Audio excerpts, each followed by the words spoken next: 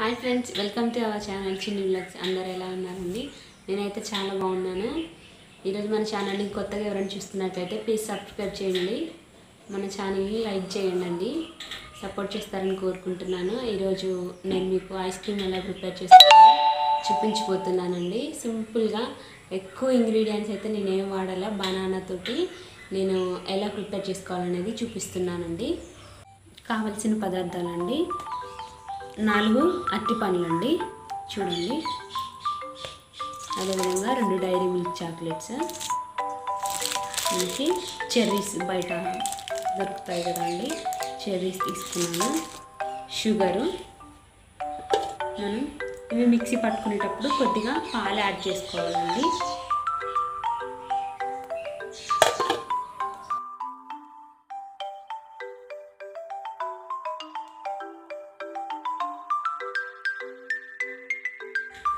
వీటిని మనం చిన్న చిన్న పీసెస్గా కట్ చేసుకుందామండి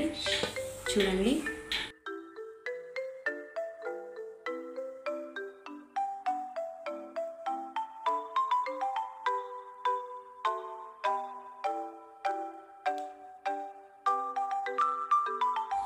మనం బనానా కట్ చేసి పెట్టుకున్నాం కదండి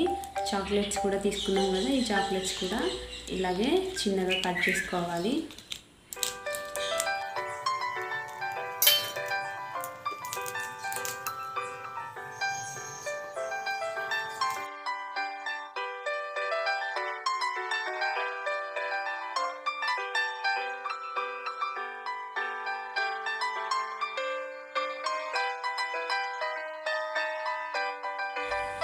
ఇవి రెండు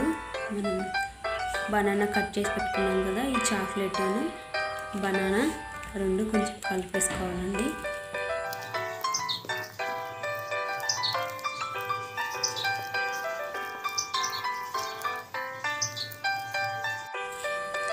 చూడండి ఈ విధంగా మనం మొత్తం కలిసే విధంగా కలుపుకున్నాం కదండి దీంట్లో షుగర్ కూడా వేసేసుకున్నాము ఒకటేసారి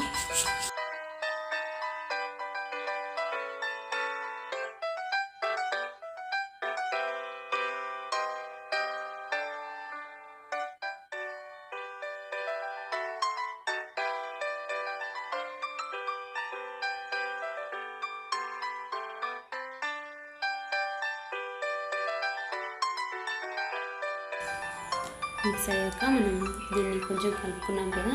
మిక్సీలో వేసేసుకోవాలి బాగా మెత్తగా గ్రైండ్ చేసేసుకోవాలి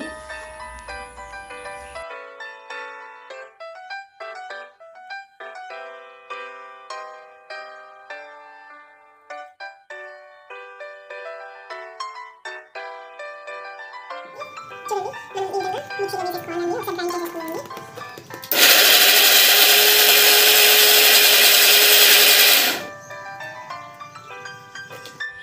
చూడండి ఇంత ఫైన్గా మనకి మెత్తగా గ్రైండ్ అయిపోయింది కదా దీంట్లో కొద్దిగా పాలు యాడ్ చేసుకుందామండి పాలు యాడ్ చేసుకొని ఒకసారి మిక్సీ పట్టేసుకుందాం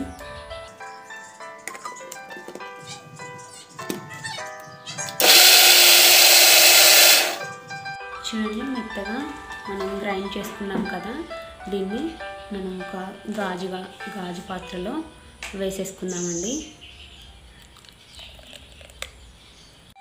కొంచెం మిగిలిపోయిందండి అది కూడా మనం ఇంకొక కంటైనర్లో తీసేసుకున్నాం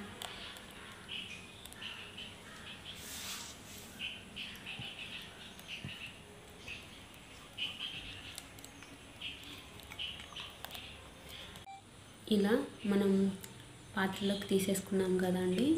ఈ బౌల్స్లోకి దీన్ని మనం డీ ఫ్రిడ్జ్లో ఒక మూడు గంటల పాటు పెడదామండి అప్పుడు మనకి ఐస్ క్రీమ్ అనేది రెడీ అయిపోతుంది చూడండి ఫ్రెండ్స్ మనం ఫ్రిడ్జ్లో పెట్టేసుకున్నాం కదా పైన చెర్రీస్ పెట్టి ఈ విధంగా గార్నిష్ చేసుకోవాలి చూడండి ఎంత బాగా వచ్చిందో నేను టేస్ట్ అయితే ఎలా ఉందో చెప్తాను ఫ్రెండ్స్ చూడండి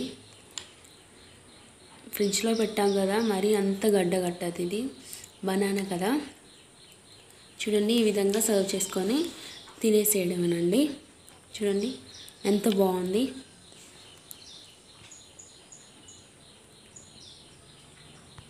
చూసారు కదా ఫ్రెండ్స్ వీడియో కనుక నచ్చినట్లయితే ప్లీజ్ లైక్ చేయండి షేర్ చేయండి సబ్స్క్రైబ్ చేసుకోవడం మాత్రం మర్చిపోకండి